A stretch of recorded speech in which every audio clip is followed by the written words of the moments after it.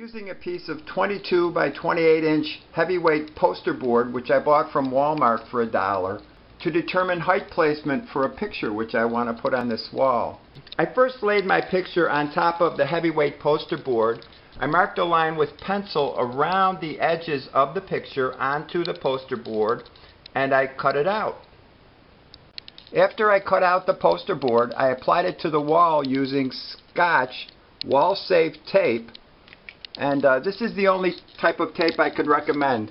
Any other type of tape could uh, tear the wallpaper.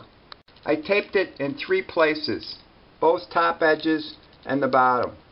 I leave the poster board up for a day or two so I can determine exactly what height I want it to be. I raise it a half inch, lower it an inch, until I've got it just where I want it. Before hanging the picture, I measure the distance from the top of the picture to the place from which the painting will be hung, and I compensate for that. This is the poster board I used. If your picture is bigger than 22 by 28 inches, you can tape two or more of these together.